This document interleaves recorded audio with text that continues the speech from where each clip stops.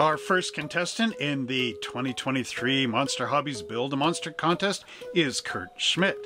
Curt has entered in MONMH2 concepts and one of a kinds with his highly modified Moebius Frankenstein model kit.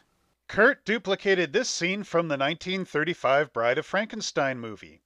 Curt's model features reworked arms, hands, head, and legs, as well as a new base and ropes.